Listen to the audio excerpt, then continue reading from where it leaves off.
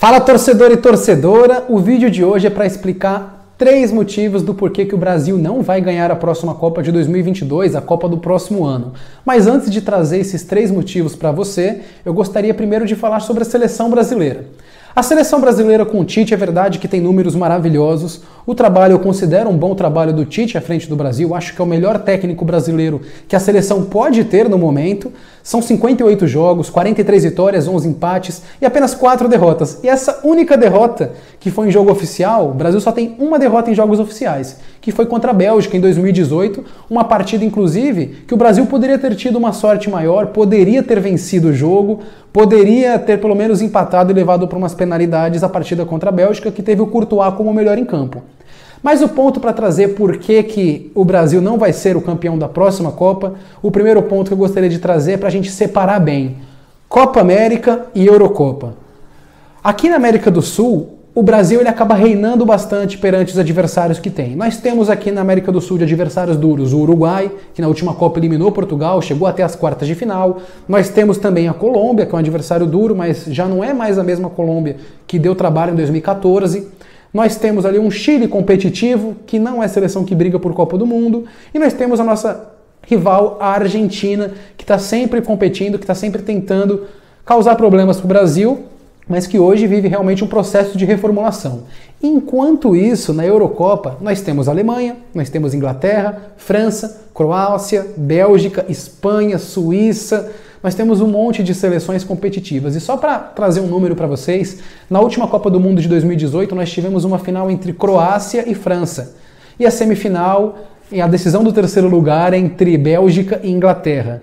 Quatro seleções europeias chegaram até lá. Então, o maior nível de futebol não está na América do Sul, está na Europa. O Brasil é o melhor que existe na, na América do Sul, mas existe uma falsa sensação com os números que a seleção brasileira tem.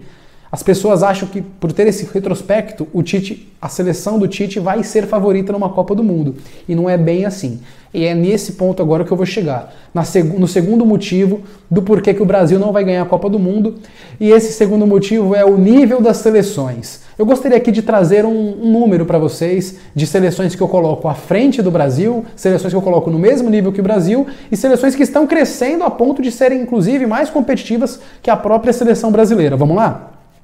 As seleções que hoje, na minha opinião, estão à frente da seleção brasileira. Eu coloco França, Bélgica e Inglaterra com total certeza que estão à frente do Brasil pelo nível de jogo, pela evolução, isso que é importante, a evolução do futebol de 2018 para cá. Isso é muito importante para a gente colocar. O Brasil evoluiu, sim, a defesa está sólida, o ataque tem individualidades, mas em nível de jogo, Bélgica, França e a equipe da Inglaterra estão à frente do Brasil, mesmo com a França caindo para a Suíça. E existem as equipes que estão no mesmo nível que a seleção brasileira. Nessa, é, nessa relação eu coloco aqui a Alemanha, eu coloco a equipe da Croácia, eu coloco a Espanha, eu coloco a Itália. Todas essas equipes estão no mesmo nível que a seleção brasileira, no meu ponto de análise. Você vê uma Croácia que chega numa final de Copa do Mundo e que joga uma partida contra a Espanha que vai para prorrogação e termina 5 a 3 para a Espanha. É realmente um nível de futebol muito alto. E existem as seleções que são adversárias duríssimas se o Brasil pegar numa Copa do Mundo. Pode acontecer numa fase de grupo, pode acontecer numas oitavas de final, que são as seleções da Dinamarca, seleções da Suécia, da Suíça e também de Portugal. Inclusive, vamos para o próximo ponto, que também é muito importante, que é o terceiro ponto, que é a questão do retrospecto contra as grandes seleções. Eu trouxe aqui para vocês que o Tite no comando da seleção tem 58 jogos, 43 vitórias, 11 empates e apenas 4 derrotas. Eu separei aqui 7 jogos contra as seleções mais fortes que o Brasil enfrentou. Justamente para trazer para vocês que esse número ele não é tão positivo assim quando falamos de grandes adversários.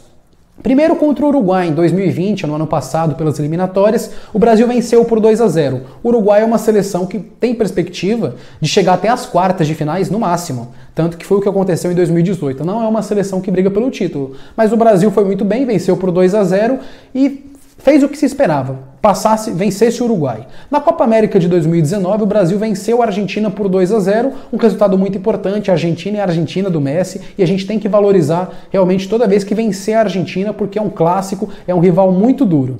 Só que depois disso vai vir alguns jogos agora que o Brasil acabou enfrentando nesse período contra as seleções europeias, que o cenário não foi tão positivo assim. Em 2018, o Brasil enfrentou a Suíça e empatou por 1 a 1. A Suíça de 2021, que está na, na Eurocopa, é uma Suíça melhor do que a, estava na Copa de 2018. E eliminou a França nos pênaltis. Pode muito bem ser um jogo que o Brasil pode ser eliminado. É uma seleção que está crescendo. Claro que a Suíça não é favorita perante o Brasil, mas é um adversário duro. Nós temos ali Brasil jogando contra a Inglaterra no finalzinho de 2017, se eu não me engano, no mês de novembro, um amistoso. A Inglaterra estava com um grupo muito jovem, que foi o que terminou em quarto lugar na Copa do Mundo de 2018. E esse grupo jovem na Inglaterra, em 2017, é verdade que montou uma linha de cinco defensores que o Brasil não conseguiu furar, mas mesmo fazendo isso, foi um jogo que o Brasil não conseguiu passar pela Inglaterra. E temos a Bélgica, que a Bélgica abriu 2 a 0 nos erros do Brasil e depois só esperou o Brasil errar para contra-atacar. É verdade que o Brasil teve chances, mas o resultado foi de derrota.